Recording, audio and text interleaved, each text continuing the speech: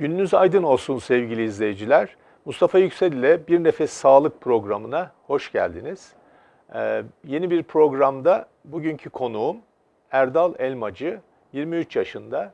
Şimdi kendisini kendi ifadeleriyle tanıyalım. Buyurun Erdal Bey. Ben Erdal Elmacı, Esenler İstanbul'da oturuyorum. 23 yaşındayım. Elektrik teknisyeni işi yapıyorum. Evet Erdal Bey, e, bu, bu programa sizi e, sağlığınıza kavuştuktan sonra edindiğiniz mutluluk nedeniyle çağırdık. Kendinizi, e, rahatsızlığınızı kendi ifadenizle bize anlatabilir misiniz? Tabii ki hocam. Ben daha öncesinde göğüs rahatsızlığımdan dolayı birçok hastaneye gitmiştim. Ama istediğim sonucu alamamıştım. Doktorlardan duyduğum sözler beni tatmin etmiyordu. Ne gibi bir göğüs rahatsızlığıydı bu? Biraz daha ifadeleri açabilir Bende misiniz? pectus carinatum göğsü vardı. Pectus güvercin carinatum göğsü. yani güvercin göğsü Evet. vardı sizde. Evet. Bu sebeple hastaneye gitmiştim. Çocukluğumda belli olmadığı için gidememiştik. Daha sonraki zamanlarda gittim hastaneye. Ama gittiğim zamanlardaki doktorlardan aldığım sonuçlar beni tatmin etmiyordu açıkçası. Hani bana açık kalp ameliyatı demişler, o şekilde olacak demişlerdi. İlk bu rahatsızlığınızı ilk ne zaman fark ettiniz? İlk fark ettiğimde iki sene falan önceydi hocam. İki sene önce yani Evet. 21 yaşında Tabii. bu rahatsızlığınızı fark ettiniz.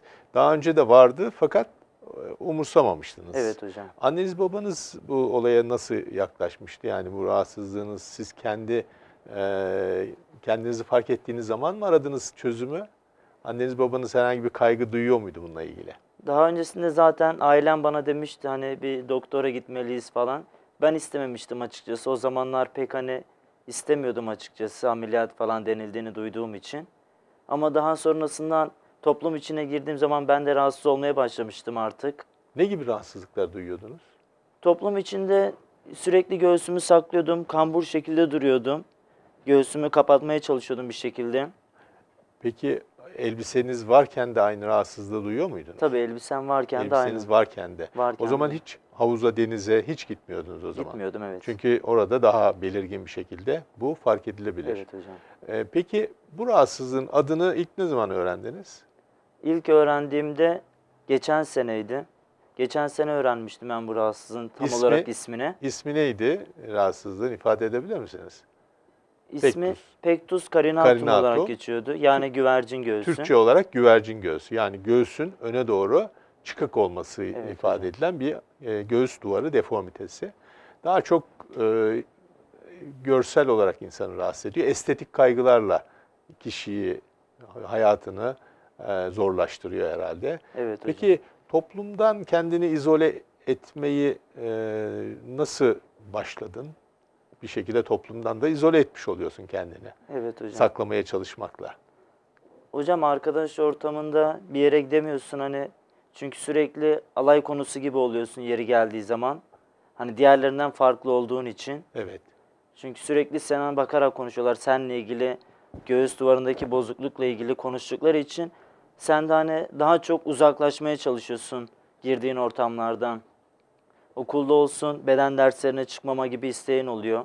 Hani görmesinler, üstümü değiştirirken göğsümü görürler falan gibisinden. Bu yüzden hani rahatsız oldum daha da çok artık. Hani sonunda ameliyat olmak istemiştim. Ve çözüm aramaya başladın. Evet hocam. Evet.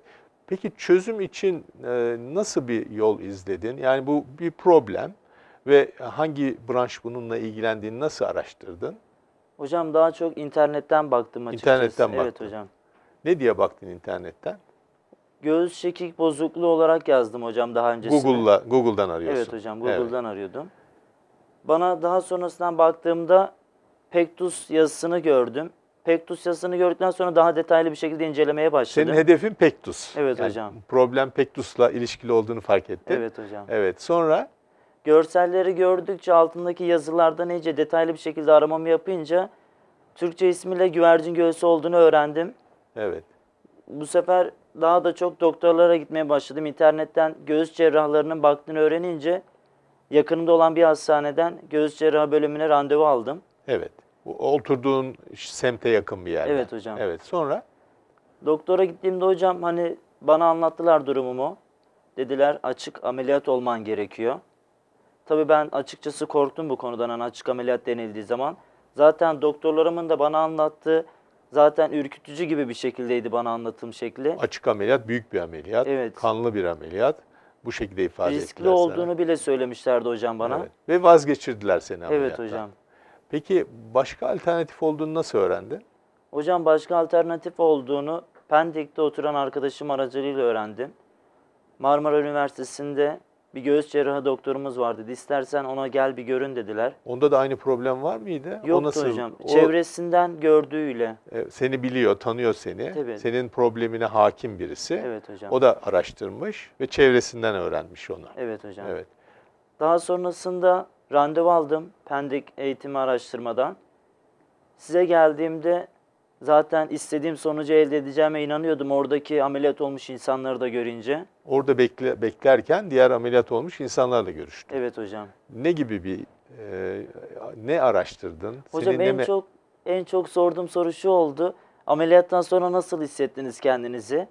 Hepsinin verdiği cevap çok güzeldi hocam. Hani duymak istediğim cevap asıl oydu benim. neler söylediler? Dediler hiç bekleme. Bu zamana kadar zaten fazla beklemişsin. Bir an önce Mustafa hocamızdan bu ameliyat gününü al ve ameliyatını ol dediler. Ailem de bunu duyunca zaten daha da çok sevindiler. Artık onlar da istedi ameliyat olmamı. Yani senin konuştuğun herkes sana ameliyat olma yönünde tavsiyede bulundu. Evet hocam. Ama başka bir ameliyat.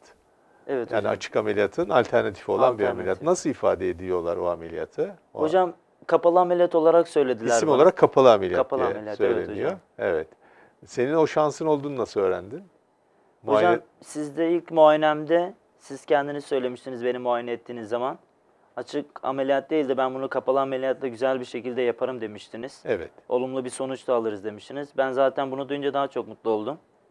Bu senin için bir çözümdü. Evet hocam. Evet. Ve sonra nasıl seyretti şeyler? Hocam ameliyat günümüz belirlendi.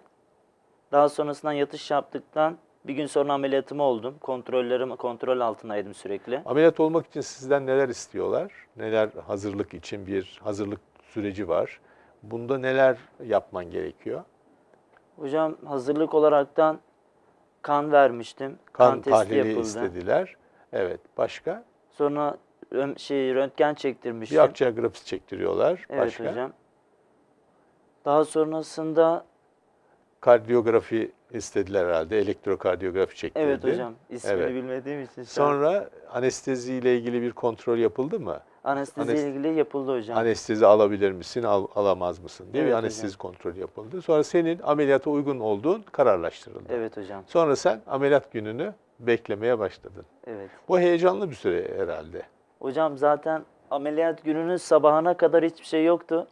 Ameliyathaneye giderken zaten bir heyecan, bir korku gibi bir şey oluyordu ama hiç korkulacak bir şey olmadığını sonradan anladım zaten. Orada bir problem olmadığını o süreçte yaşadın. Bir de ameliyat olmuşlarla da görüşmek seni rahatlattı mı? Tabii hocam bayağı rahatlattı. Zaten hiç görüşmemiş olsaydım korka korka gideceğimi biliyordum o ameliyathaneye.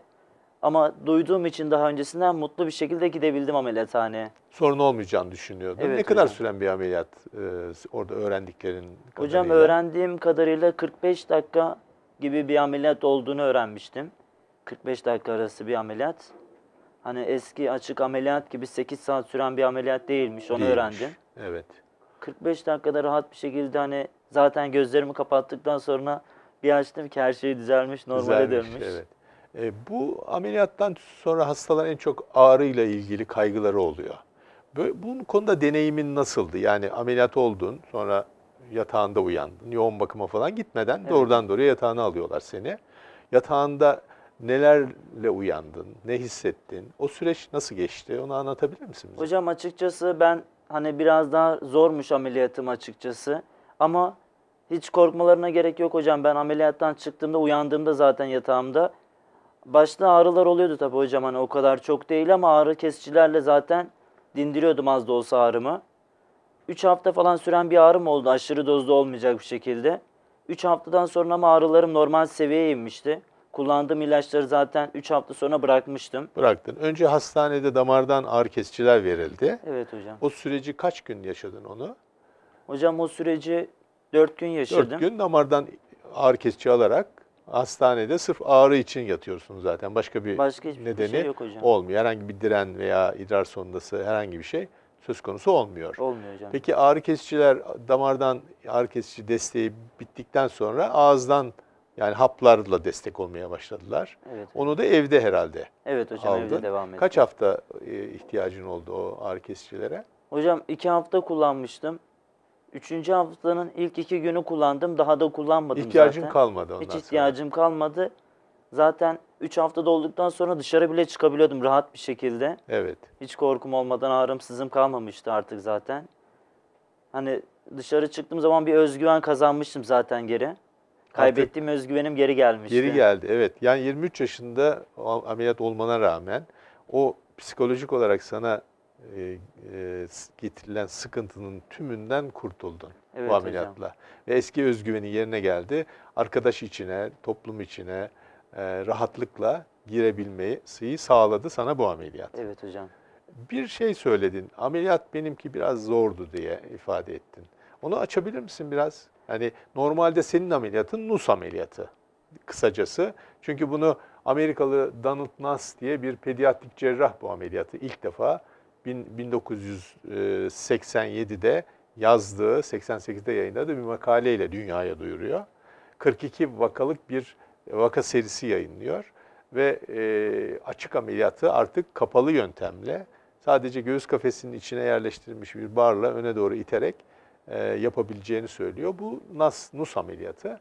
Bir de karinatum varsa yani güvercin göğsü onu da geriye doğru bastıran bir ameliyat var. Bu ameliyatın da adı Abramson ameliyatı. Minimal invaziv bir ameliyat, yine kapalı bir ameliyat.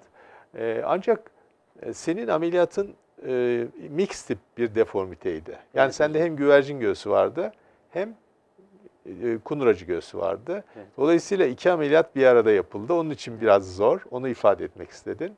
E, iki tane bar kullanıldı. Yani hem alttan kaldırıldı çökük olan kısım hem de üstten e, çıkık olan kısım aynı sandviç e, gibi arada sıkıştırıldı ve o şekilde düzeltildi. Ekranda da resimler, e, verilen resimlerde de görüleceği üzere ameliyattan sonra bu e, görüntü tamamen düzeldi ve seni e, mutlu bir e, göğüs kafesi şekli e, ile buluştun. E, bu da seni özgüvenini, eski özgüvenini tekrar kazanmanı sağladı. Evet hocam. Ee, peki bu zor ameliyat diğer oradaki yatan arkadaşlarına kıyasladığın zaman seninki biraz daha ağır mı geçtiğini düşünüyorsun yoksa aynı standart e, yat- e, ameliyat sonrası e, dönemi mi yaşadın? Hocam ben yanımda yatan arkadaşınki farklıydı. Kunduracı göğsü vardı onda. Evet. Ama onunkinin ağrılarına nazaran benim ağrım daha azdı. Hani ikimiz de benimki kendime göre ben ağır geçen bir ameliyat olarak düşünmüştüm ama baktığımız zaman seviye ağrı seviyesi aynıydı. Evet. Farklılık yoktu. Hani sonradan kendi kendime düşününce Çok dedim, fark etmiyor yani Fark etmiyor dedim. şeyi. E, bu senin e, esas ameliyat olabileceğini duyman seni çok mutlu etti. Evet hocam. Çünkü bu kapalı ameliyatı her hastaya uygulamak mümkün olmuyor. Ee, önce bir muayene olup, değil mi? Ee, bu muayene sırasında bir göğüs kafesine bir basınç uygulandı mı? Öyle bir test yapıldı mı sana? Tabii hocam ilk muayeneye geldiğimde zaten bir basınç uygulanmıştı bir cihazla. Evet. O basınçtan sonra zaten hani ameliyat olabileceğimi Olabileceğin kararlaştırıldı. Evet hocam. Evet. Biz bu tür e, öne doğru çıkıntılı olan karinatum hastalarına, güvercin göğüs hastalarına bir e, basınç makinasıyla göğüs kafesini geriye doğru bastırıyoruz. Bu düzelme sağlıyoruz. Eğer bu basınç 25 kilogramdan azsa, 10 kilogramdan fazlaysa bu ameliyatın uygun olduğuna karar veriyoruz. Sen de şanslı bir gruptaymışsın. O hocam. ikisi arasında e, bir değer çıkmış. Eğer 10 kilogramın altındaysa basınç o zaman da korse tedavisi veriyoruz. Hiç korse tedavisi önerildi mi sana bu dönemde? Yok hocam hiç Herhangi bir korse- korse tedavisi önerilmedi. Çünkü sen Önerilmedi. sadece ameliyatı düşündün. Burada ilginç olan tabii Erdal, e, bu problemi sen tabii bu doğuştan olan bir göğüs duvarı deformitesi e, doğuştan olan. 300 doğumda bir görülüyor biliyorsun. Evet hocam. E, karinatumda 1000 doğumda bir görülüyor. Ortalama 500 doğumda bir tane görülüyor. Türkiye'de 320 e, 320 bin tane böyle pektuslu hasta var. Oldukça kalabalık bir sayı aslında. Bu kulaktan dolma sen bilgilerle ulaşmışsın bize. Aslında bütün bunların e, bir şekilde hastalara direkt ulaştırılması gerekli. Evet hocam. E, Pektus Derneği'ni duydun mu hiç Erdal? Duydum hocam Pektus Derneği'ni duydum ve daha öncesinden gitmiştim. Nasıl sana nasıl faydası oldu? Yani öyle bir dernek işlerini kolaylaştırdı mı? Daha rahat bilgiye ulaşma açısından Tabii hocam faydası oldu mu? istediğim bilgiyi alabilmiştim oradan daha kısa yollu bir şekilde. Hani bir sorunum olduğu zaman oradan çözebiliyordum. Ağrım sızım olduğu zaman bilgi alabiliyordum hani durumlar hakkında nasıl diye. Aradığın zaman seni kim karşılıyordu? Yani kim telefona çıkıyordu? Pektus Derneği'ni aradığın zaman. Aradığım zaman Kaan Bey çıkıyordu telefona. Dernek sekreteri çıkıyordu. Sorularını ona sorduğun zaman sağlıklı bir şekilde cevap alabiliyordun. Alıyordum hocam evet. Evet. Ne gibi sorunlar oluyor? Ameliyat oldun diyelim. Sonra bir yere danışma ihtiyacın oluyor mu? Yani ameliyat oldum bitti. Yani insanlar genellikle safra kesesi ameliyatı olurlar. Ağrıları olur bir hafta, 10 gün sonra. Artık ondan sonra bir daha ne doktora ihtiyaçları kalır ne hastaneye ihtiyaçları kalır. Burada daha farklı bir şey mi? Yani bir hekim ihtiyacın veya bir yere danışma ihtiyacın ne sıklıkta oluyor? Onu açabilir misin biraz? Hocam aslında hani ihtiyaç duyuluyor açıkçası. Neler mesela? Kontrole gitmen gerekiyor. Direkt doktorunla birebir irtibata geçiyorsun dernekte. Evet. Direkt muayeneni orada yapıyorlar. Zaten filmine bakılıyor. Sonuçların söyleniyor. Ne durumda olduğun şu anda ameliyat sonrası için. Düzenli kontroller gerekiyor Tabii bu hocam, ameliyattan düzenli sonra. kontroller. Bu bunun için de aradığın zaman ulaşabileceğin bir e, telefon numarası, bir e, sekreterya ihtiyacı söz konusu olabiliyor. Evet. Evet hocam. bunu da rahatlıkla dernek vasıtasıyla bunu karşılayabiliyorsun. Derneği aradığın zaman bütün istediğin soruların cevabını bulabiliyor musun? Evet hocam istediğim her cevabı alabiliyorum alabiliyorsun. dernekten. Evet. Ee, Erdal aslında e, senden çok güzel şeyler işittik bu ameliyatla bu e, hastalığın tedavisiyle ilgili. Bize kısaca e, programımızın sonuna doğru yaklaştık. Bize e, ana başlık olarak bir böyle bir göğüs duvarı deformitesi olan, sendeki gibi bir deformiteye sahip olan insanlara ne tavsiye edersin? Ee, ana başlık olarak söyleyebilir misin? Hocam hani hiç korkmadan en yakında oldukları hastaneye ya da ulaşabiliyorlarsa tabii ki öncelikle size ulaşıp bu ameliyatı olabilip ya da olamayacaklar hakkında bilgi almalarıdır. Araştırmaları gerekli. Tabii ki hocam Evet. araştırmaları gerekiyor. Ameliyat çok ağır bir ameliyat değil. Sen ameliyat sonrası arzu ettiğin mutluluğa erişebildin. Evet hocam. Ameliyat süreci e, bu ameliyatı SGK karşılıyor mu? O, onunla ilgili bir e, ne söylemek istersin Hocam ben ameliyatımı oldum. Hastaneden çıktığım güne kadar çıktığımdan sonra bile hastaneye hiç para vermemiştim. SGK bütün her şeyi karşılıyor bütün bu, e, bütün ameliyat masraflarını, hastane masraflarını karşılıyor. Evet hocam karşılıyor. Sonraki hepsini. takip dönemlerinde düzgün bir şekilde yapabildin. Evet hocam. Ee, evet, bu ameliyat seni mutlu etti. Eski arzu ettiğin görüntüne ulaştın. Ee, di- diğer senin gibi deformiteye sahip ve bu nedenle üzülen kişilere de bu tedavi yöntemini tavsiye ediyorsun. Evet hocam tavsiye ediyorum hani bir an önce artık eski özgüvenine kazanmak isteyen insanların hani saklamamaları gerekiyor bunu artık. Bir an önce bir muayene olup ameliyatı olmaları çok güzel bir şey aslında hani. Evet. Ve bu tedaviyi muhakkak ulaşmak için her şeyi yapmaları Evet gerekli hocam. olduğunu söylüyorsun. Evet, çok teşekkürler Rica Erdal ederim Bey. hocam. Ee, evet e, sevgili izleyiciler, e, bir programın daha sonuna geldik. E, bugünkü konuşma e, konuğumuz Erdal Elmacı'nın kendi e, ameliyat ve tedaviyle ilgili, Pektus hastalığındaki ameliyat ve tedaviyle ilgili e, hikayesini dinledik. E, bir sonraki programda görüşmek üzere. E, sağlıcakla kalın.